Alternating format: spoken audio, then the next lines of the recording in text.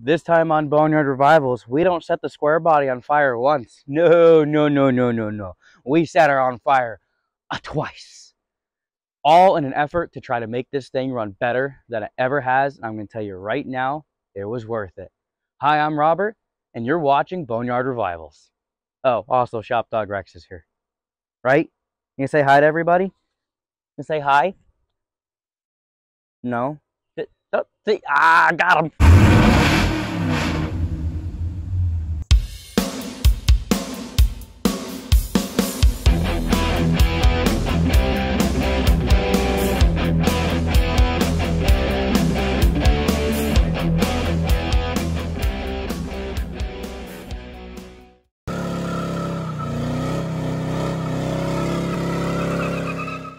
This is our 1985 square body Chevy.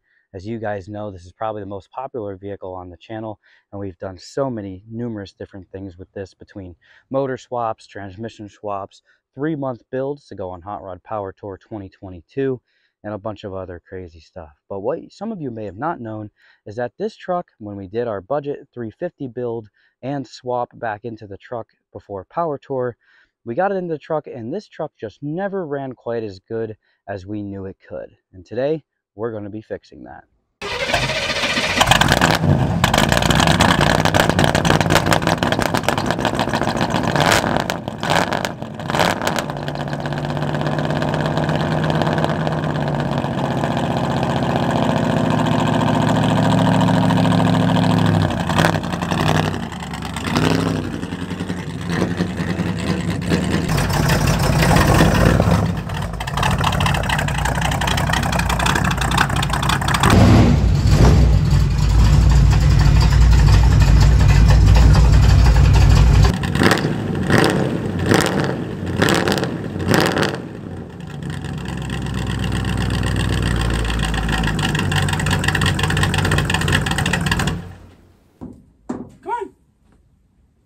You gonna Vamuski?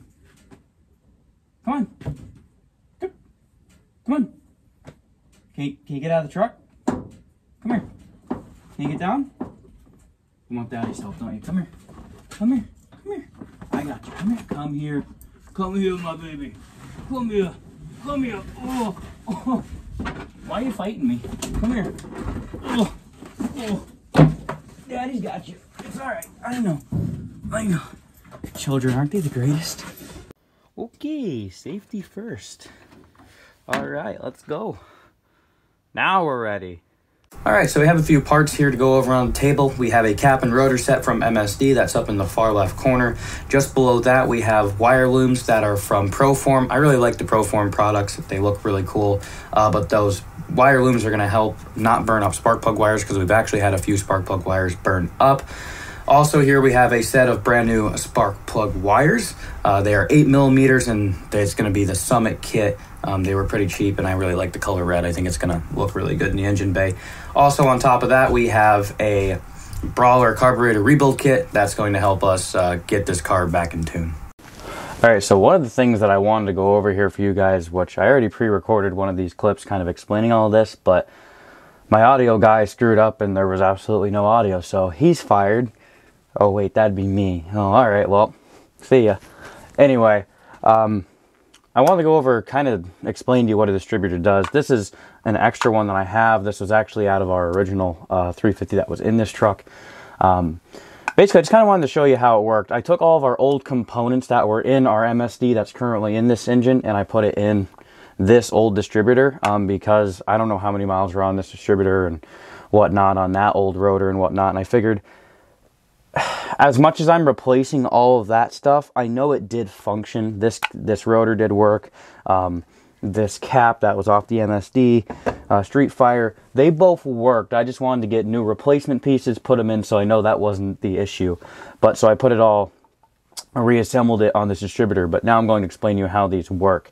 So HEI honestly is one of my favorite distributors. Honestly, it is my favorite distributor. Super easy, kind of like a plug and play kind of deal. It just it works really really easily. You just plug everything in and it just kind of does its thing. There's only a few tiny little hiccups that these ever really had and they were really really easy. One of the big things that would go out on these were the ignition module, which your ignition module can be found just under the rotor. It's going to be this guy right here. This is a four prong one if I am not mistaken. Sometimes those would go out. We've seen that a lot on the channel. Um, but besides that, they were actually pretty good. So basically, I want to explain to you how these distributors actually work with, um, with your rotor and your cap. So you have your rotor. Obviously, your rotor spins with the distributor. If you look down at the very bottom of the distributor here, you're going to have this gear. This gear is what actually uh, goes to the back of the camshaft. If you ever look at the back of your cam, there's that gear on the end of it. And with that gear on the back of your camshaft, that actually goes into that little guy right there. And that's what actually drives the distributor. Also, one of the big things that um, a lot of people accidentally mess up when stabbing a distributor in you look at the very, very end here, try to get it close enough for you so you can actually see it. See how there's that little straight piece in there? This actually goes all the way down into the bottom of the engine to your oil pump. It's very, very crucial that that gets aligned up correctly and dropped all the way in. That slot, there's actually a little slot that kind of looks like that on your uh, oil pump. That slot has to drop into it. And then when this spins, that's what actually drives your oil pump. Super, super important that you get that lined up. But coming back up top to the cap, basically the cap obviously rotates as the distributor spins, right? So you obviously have, or sorry, your rotor, not your cap. The cap is here, which goes on top, right? You flip your cap over and look inside, you see a bunch of little metal tangs in there. Basically, what actually happens is there's that metal tip on the uh, the tip of your rotor there. As your cap's on it, that's this rotor will spin inside and when it goes past your little tangs there, it'll pass an electric current from the tang of your rotor to the tang of the inside of the cap, and that then transfers that energy, that spark, to the top here. That's obviously your spark plug wire, which I have one right here that I can grab for you. So the spark plug wire would sit on that, correct? So if you have it connected properly, like that, it's not on all the way, but you get the gist. It'll then send your spark through the spark plug wire, which then your spark plug wire, as you all should know at this point, will go into your spark plug. So that's how you kind of get that guy on. It clicks in like that.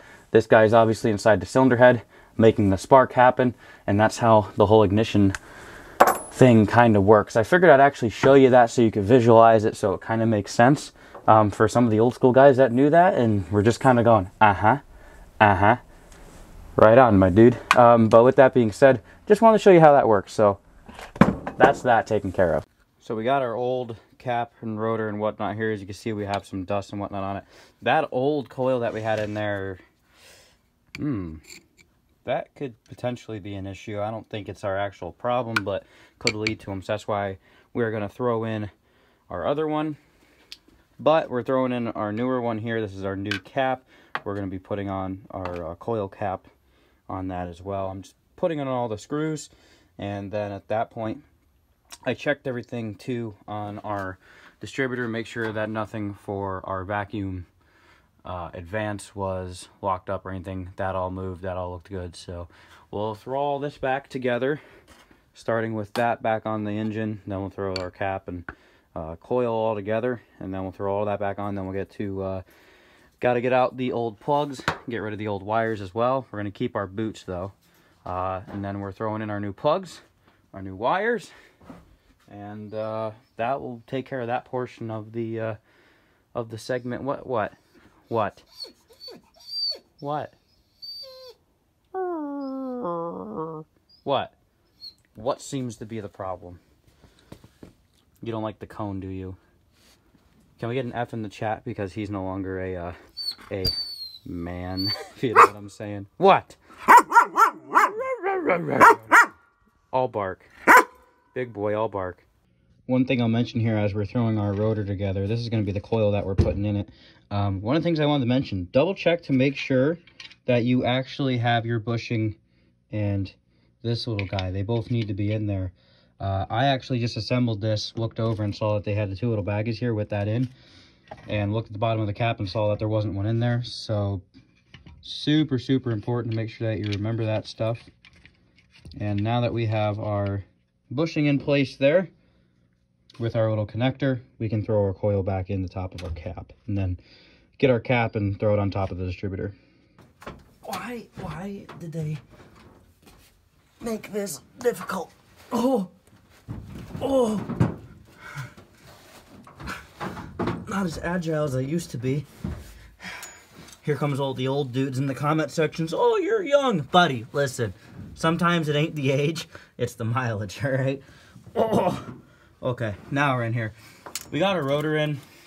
I'm gonna go ahead and slap down our slap down our new cap with the coil in it. All right, update time. Distributor is together. We put our spark plug loom uh, holder slash, you know, the, the things that hold the wires up so they don't get toasted by the headers.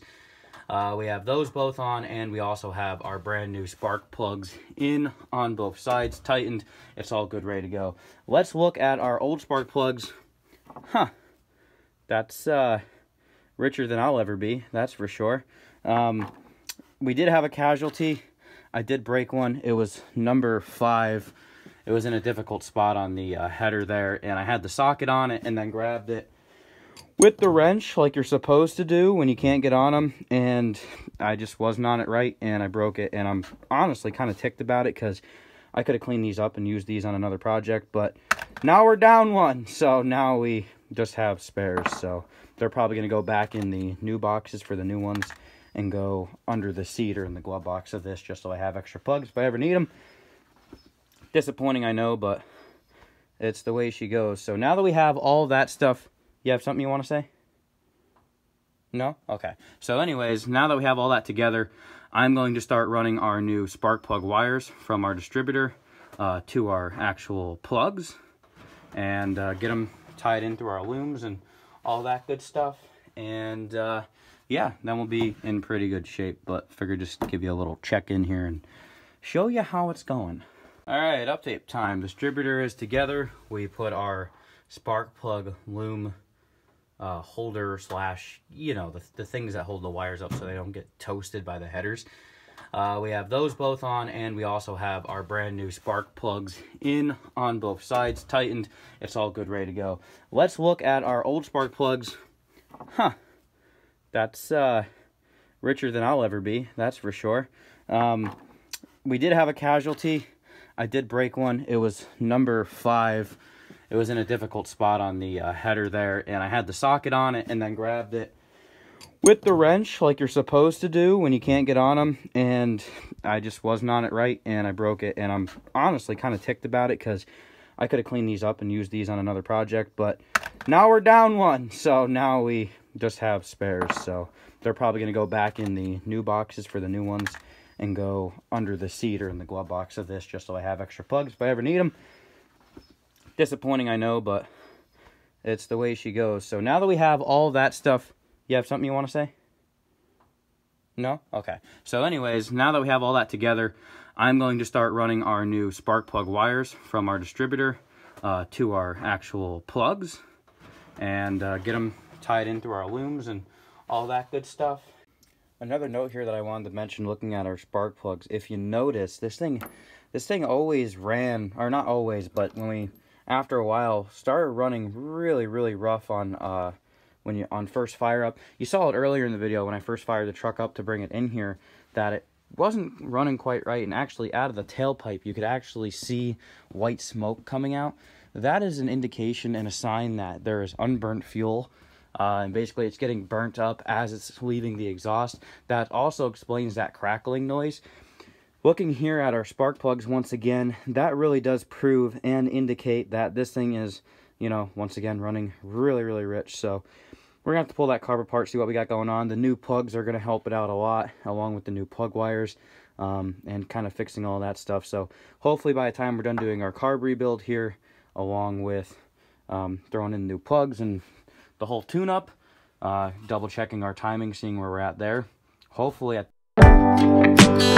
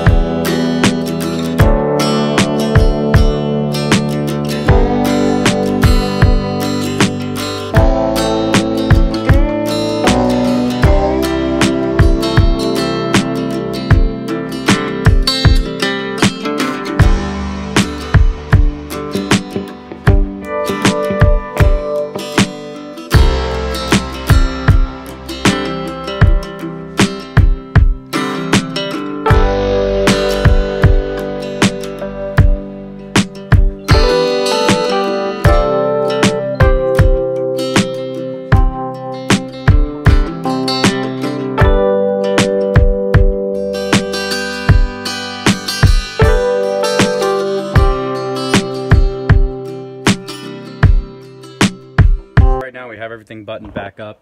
Uh, I think at this point, I put a little fuel into the uh, to the front bowl there, and I think at this point we're just gonna hop in, hit the key. Um, the timing's gonna be what it's gonna be right now. I'm just worried about it getting it fire up and see where it runs. We did have the timing set when we first got the engine in the truck, so I know it's gonna be in the ballpark. Um, the big thing is for us right now is where is our uh, our adjustments for our carb going to be, um, and that's gonna be the big thing that we're gonna fight here. So, um, I guess at this point I'm gonna go over and double check everything one more time, and then I think we're gonna hop in the truck and turn the key and see what see what see what happens. Hopefully it runs a lot better than it did before.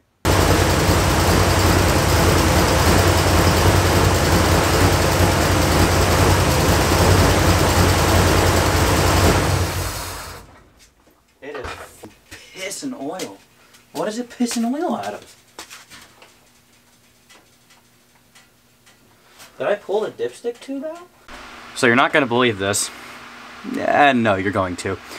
We discovered a completely, completely separately, entirely different problem from the fact that the truck's not running right. Because this thing is profusely dumping oil onto the ground. Um, started investigating on what it was, and it's coming from the valve covers. In case if you don't remember, we have an older uh, set of uh, the side type valve covers on this truck. Um, the Vortec heads don't accept that. They're only a center bolt pattern. Uh, Summit sells these adapters. It's another company's name, but you can get them through Summit, where it adapts the center bolt to the outside bolt, and they're like these nice billet aluminum pieces. Basically, what I'm guessing happened is when we when we put those adapters on over at Joe's, we use a special type of um, sealer on the bottom side, and then we put a regular, really thick cork gasket on the top side. And where it looks like it's leaking is below the actual machined adapter plate. So basically what I'm thinking is it is it removes some of the material out of there.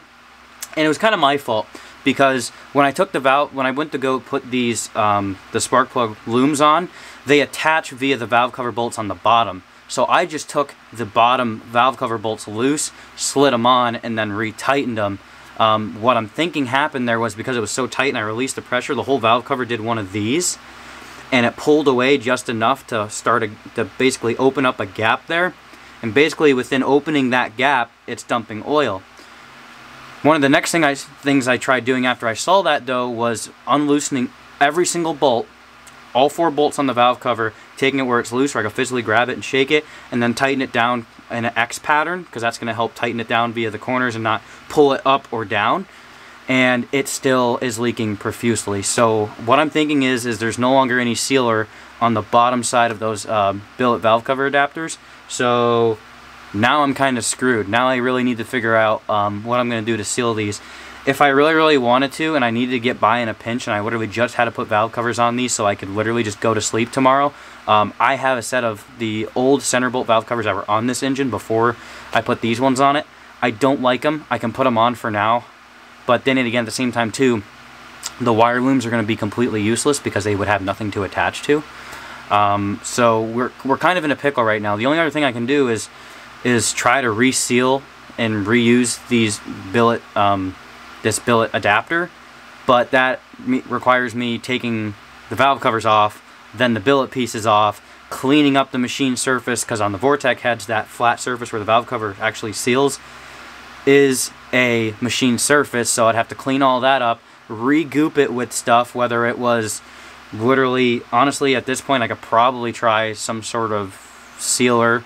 Um, but basically, that's kind of where we're at right now. We need to figure out what we're going to do there before we can even move on to the tuning this thing. So that's how it goes for me. You know, you, you try to fix something, then you open up a whole completely different can of worms.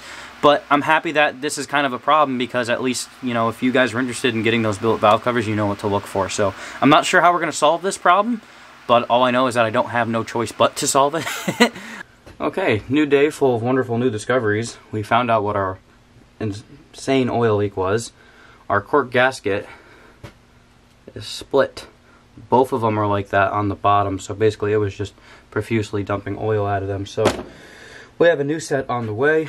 Um, it's kind of a shame because these are like the double thick gaskets and actually cost a little bit more to have on.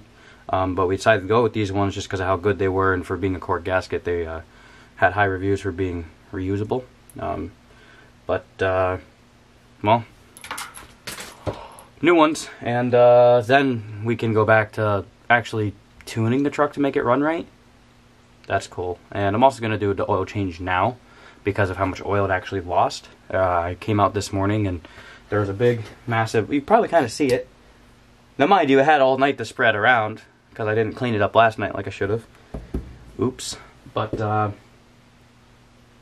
yeah, yeah, so we're going to do an oil change now because I don't know how much oil is in it. I mean, I can pull a dipstick and find out, but it, it needs an oil change anyways. Just do the oil change.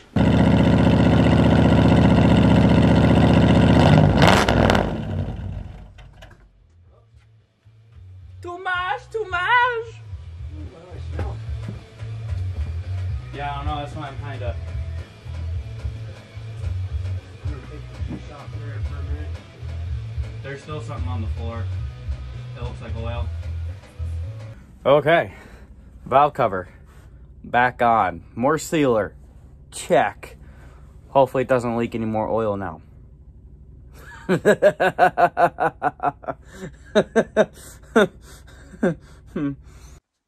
Alright, let's pray for no oil leaks. And uh, let's hope that it fires up.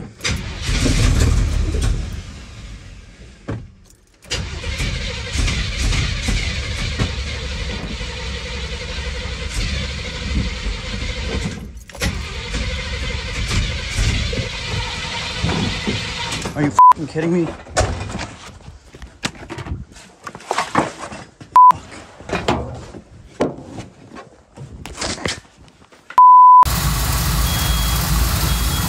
Shut up! I'm doing stuff in here. Um, but yeah, so far looks like we got no oil leak. But A few moments later.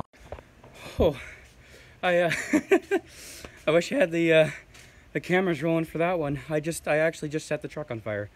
Uh, I don't know what it is. We got an oil leak or something down down there, but saw a lot of smoke when I pulled back in the driveway, and it was nothing but flames. I'm lucky I was able to get it out when I did. Of course, I have a fire extinguisher in that truck, but it needs to be recharged. What use is a fire extinguisher that needs to be recharged if I didn't even have full coverage on it yet? oh, I'm happy I'm laughing now, but that that was not a fun experience at all. Something's up with this. Something's seriously wrong with this. Um, I think it's still bailing oil out of it, and that's what caught fire. It got hot enough on the header. Um, I don't know.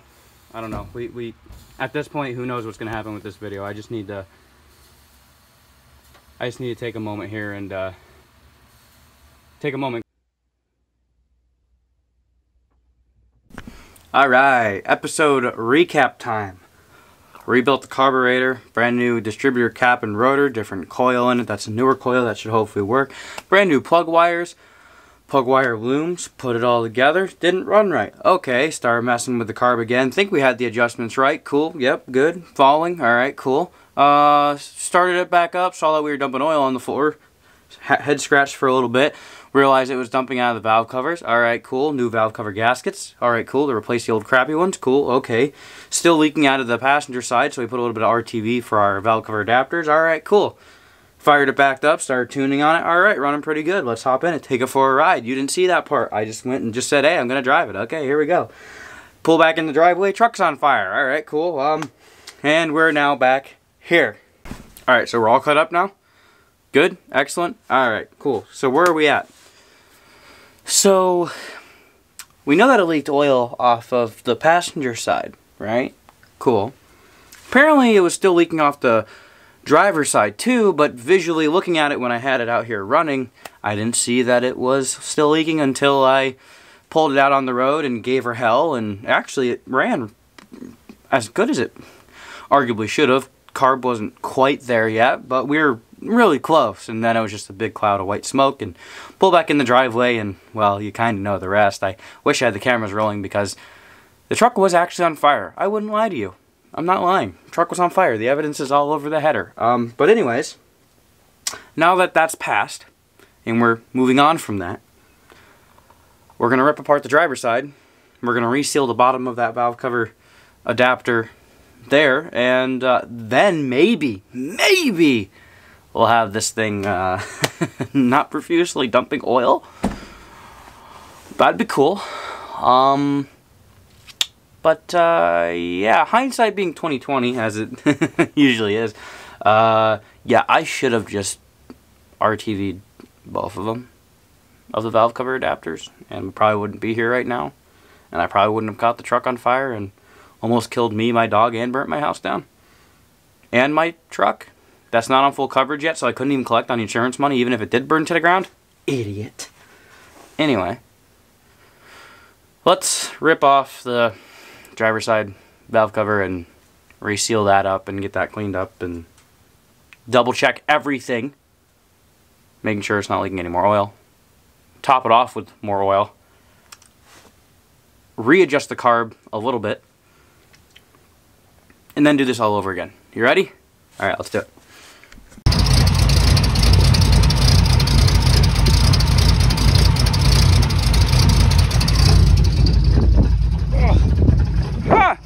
Something still leaking. All right, another day. Been back out messing with the square body. Really didn't record anything for you guys because I wanted to kind of just get my head in the game. You know, it's hard sometimes um, when you're trying to film and work on something at the same time.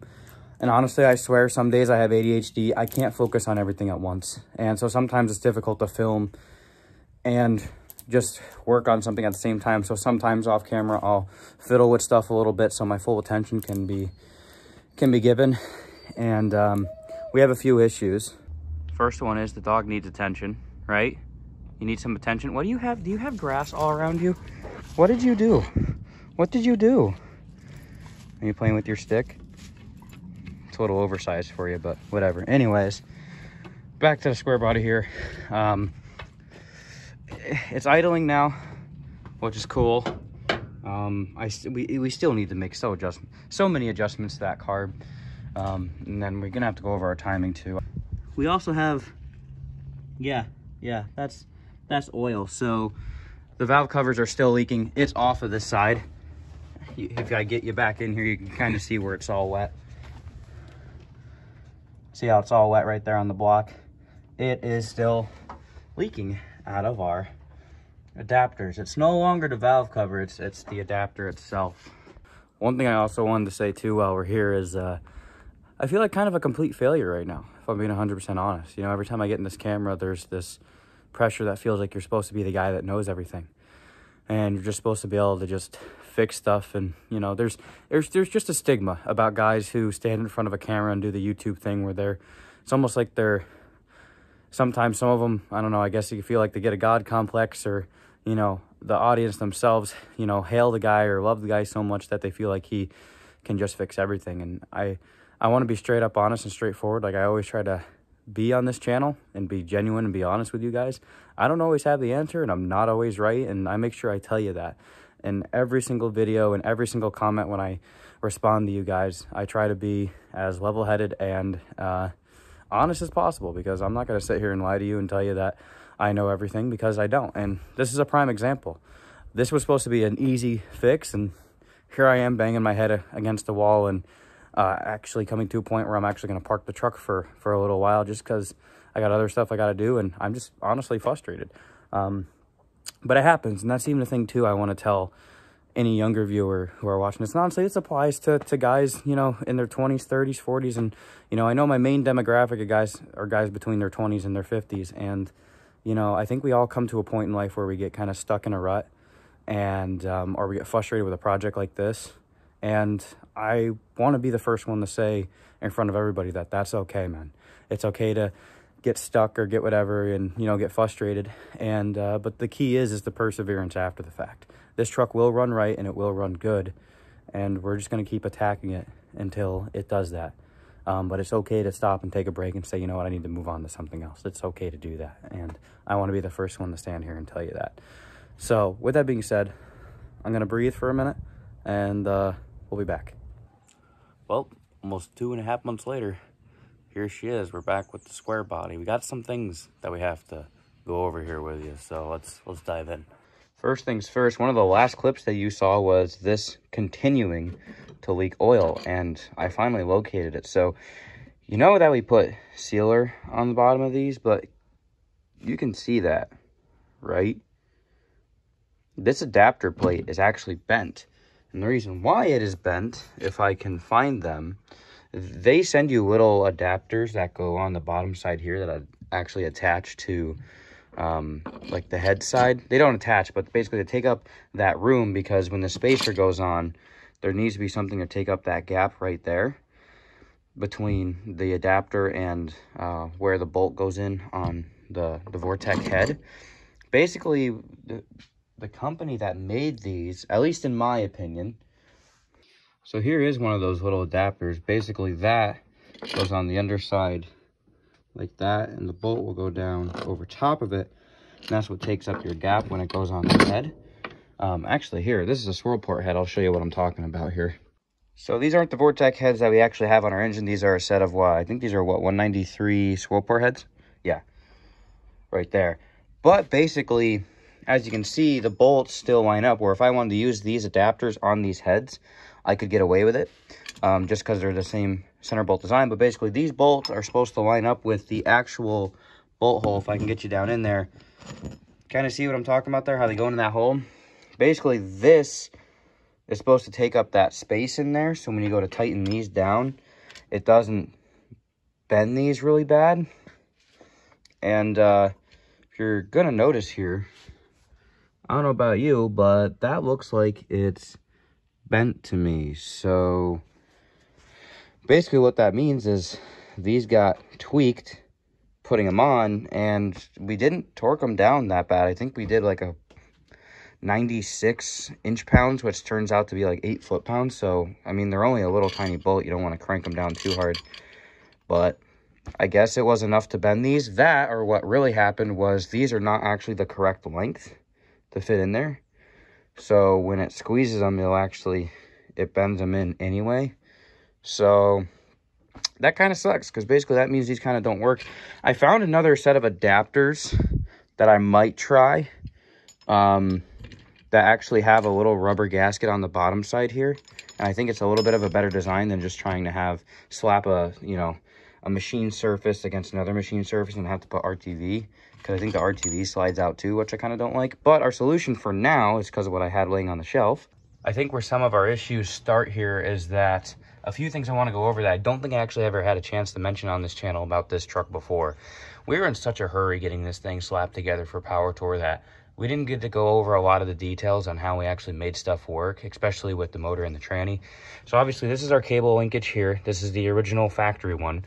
This is actually the original factory bracket that we kind of cut and kind of made work. We had to extend it because of our one inch phenolic resin uh, carb spacer. That's a four hole. Um, and then also if you look here, this is our TV cable. If you look past that and kind of see how janky that is, that's our return spring. This one is the original return spring that was on the Quadrajet on the original motor in this truck. So, yeah. And honestly, some of the issues that I'm seeing within tuning this is you'd go to hit it and it wouldn't and it wouldn't return all the way where I can actually grab it and pull it back because um, that return spring's not doing its job properly. And it's honestly mostly because there's nothing for it to attach to. Um, so basically that's something that we got to fix. And we do have a fix for that coming up. And I think that's going to help us because I've been trying to get this carb tuned in and we can't even get it to idle right because our throttle is not responding the way it should be. That's been an issue that's been kind of like, it, it, worked fine when it first went together, but because of how weak that spring's gotten over time and, and, and just the setup of it, it's just gotten worse and worse and worse. And also too, like this, this setup is, it works, but it's a little janky if I'm being 100% honest because it attaches back here and it just doesn't look clean. Um, so we actually went ahead and we bought one of those billet uh, adapter pieces that are actually going to help us hook up our throttle cable and our TV cable for our 700R4.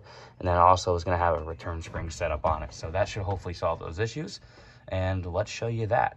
All right, so here's that throttle bracket from Trick Flow. What's really cool about this is you can get it on the back side here. This guy is going to mount on our carb something like that basically what that's going to do is obviously if you don't remember this truck has a uh, built 700R4 in it um, this is the top linkage here is going to allow us to accept our throttle cable and then the bottom one is going to allow us to accept our TV cable which is right there for and that's basically your your kickdown cable on the 700R4. So it's really important that you get those TV cables right and adjusted right, like with that button and everything. Otherwise, you can potentially smoke the trans. So uh, Trick Flow here with this bracket pretty much kind of gives you everything you need. Then you have a, a, set screw back here to adjust it, which we're going to do that. Um, and then for our return spring setup, it actually is up front here. It's a dual spring return and you can uh, adversely affect the return rate of it um, by adjusting it. So that black piece there is going to hook up to the top uh, hole in our throttle bracket. So we're going to figure something out for our, our actual uh, cable there. Um, but yeah, so everything else should just kind of fall into place there as far as our return goes, which is pretty slick. So I'm kind of excited to get it on there and get it working and see what happens. We went ahead and got our bracket on here. I do like how this all works. How you have your throttle cable up top here, then your TV cable, both in which are adjustable. Um, and then your dual spring return up here. The only thing where it gets weird is I kind of had to use some old stuff that was here. Basically, they send you this bracket piece and a bunch of other stuff for it to attach. Um, the way I had to do this, because the way we had it set up is we had a two big washers on each side of our actual bracket here. And then this bolt went through and then that's what came out for our actual uh, throttle linkage. So what I ended up doing is I ended up kind of mixing pieces together. So these two the bolt here and then this nut here is what actually keeps our return spring tight against it. And then this locking one here is what actually keeps our throttle on it. So when we go to hit it hopefully that works and if I want to too I can adjust the the spring rate by this by moving it back and uh, in and out. So obviously the tighter you make those return springs, the heavier of a pedal it's actually going to feel like. So when you actually hit the pedal, it'll actually be heavier because think of all that, you know, retention that you're you're going against. Another thing I tried to make sure too of is that wide open throttle, we actually have it um, in the pedal, which is good. So yeah, I think we're doing pretty decent here. And we finally get to get rid of let me show you this. That was our return spring. Uh yeah no that that's not gonna fly. Look at look how flimsy this thing is. Like here i'll hook it on my pinky here. And that's just me pulling it. So i think this is going to be a much better setup. I don't have to worry about our throttle whether it's actually opened or closed. These obviously were our old aluminum billet valve cover adapters that we had and they're bent bad all over the place and everywhere. So we came up with another solution which is just buying another set of billet aluminum uh, valve cover adapters these ones in comparison look how much more beefier they are lots of extra thickness in the uh, billet piece another thing I like about these ones is these, as you can tell by the RTV on the bottom of them, we had to seal that with RTV. These come with a little rubber gasket that you just insert into a machined uh, flat or into a machine spot on them. So that means no gasket is required. So we can just slap these on the way they are. So let's hope these ones work and don't leak oil like those ones did. So we can put the glorious Edelbrock Elite Series valve covers with air cleaner lid back on that engine because I'm I I just want to cry every time I open the hood and see those center bolts. And I know they say chrome don't get you home, but that chrome helps me sleep at night, okay? Thank you. Oh yeah, baby. We're back in business. I I like that way better than that hideousness. So um, we can get the other one on now, and hopefully they don't leak. And then I guess we're back to working on the carb some more. Yeah. Got it fired up. So far, so good. Don't look like we got any leaks anywhere yet. Which is good because you know they're not they're not supposed to leak, unlike the last set. Hopefully it stays that way and I can keep these valve covers on here because I love how this thing looks with them. Like I said, still not running right. We got to mess around with it more, but. Okay, so it actually came to a point where I kept messing with the carb and we just couldn't get it right. And I started thinking to myself, we really need to go over the timing again. So I ended up taking it over to Joe's because at the time that I was working on this, I actually didn't have my own timing light. Took it over to Joe's, put a timing light on it, and found out that it was actually um, retarded by about six degrees um, from where we wanted to be. Which usually on a small block Chevy you want it anywhere between like 10 to 12 normally, um, depending on what's you know what your setup is. So with that being said, um, I did initially have that clip, but somehow lost it um, within editing. So I don't have that clip, but what you're going to be seeing next is me showing you the uh, what that what timing is and explaining it to you on our 1985 Oldsmobile Cutlass. So, timing. Now that it's the topic of discussion, let's talk about it. Now that the square body is set, I wanted to show you on something that's an actual good example. So we have our 1985 Oldsmobile Cutlass behind us with a 307, and let me show you what I'm talking about. So timing makes such a huge difference. Currently, right now, I just pulled out my timing light and got this thing dialed in for around 11 or 12 initial degrees of timing. Now what that means is, is on initial setup, the distributor is set and it is advanced 12 degrees from top dead center on cylinder number one. Um, so right now it's set at 12 and that's most small blocks usually take 12 initial. Um, it's just kind of the number that everybody goes for. But with this set at 12, watch your throttle response.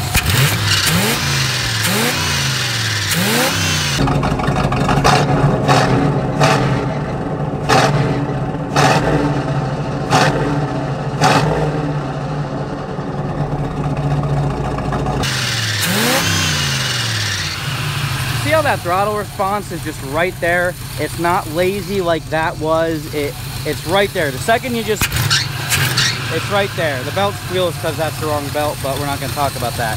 But it runs pretty good. You listen to it. I did uh, turn down the idle on the on the Quadrajet. You see how it's just kind of nice. Now I don't have a tach in this car set up, but if I were to guess what the idle is right now, I'd say it's 550, 600 RPM. It's just sitting here. It runs nice. It's smooth. There's no lag in the throttle. And that just shows you what 12 initial is. Now what I'm going to do is for you guys to show you how big of a difference and how important your timing is, I'm going to loosen up our distributor and I'm going to change the timing. I'm going to retard it and show you how big of a difference this makes and how worse it'll actually run with the timing being off. Got our distributor loose, so let's fire this guy back up. Oh boy, I don't even want to... There it goes. So, now that our distributor is loose, what I'm going to do is we'll grab it, and this is retarding it. You hear how all of a sudden it changes? The idle is much lower. And you hear the throttle response is not that great. Hear how it's got that lag? That's because it's retarded. We twist it back, you're going to hear the idle come up. Listen.